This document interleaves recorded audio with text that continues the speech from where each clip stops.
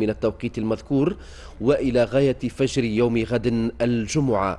رئيس اللجنة الجهوية لتنظيم النجدة والي بنزرت سمير عبد اللوي أفاد في بلاغ أصدره اليوم أن هذه العملية تأتي عقب إتمام الفريق الفني المتعهد بإصلاح مخلفات الحريق الذي جد مؤخرا بالجسر للإجراءات والإصلاحات الفنية لمختلف الشبكات الخاصة بإعادة رفع هذه المنشأة مؤقتا. ودعت اللجنة الجهوية لتنظيم النجدة عموم المواطنين ومستعملي الجسر إلى التفاعل الإيجابي مع هذه الإجراءات الفنية وتوخي الحيطة والحذر على الطريق.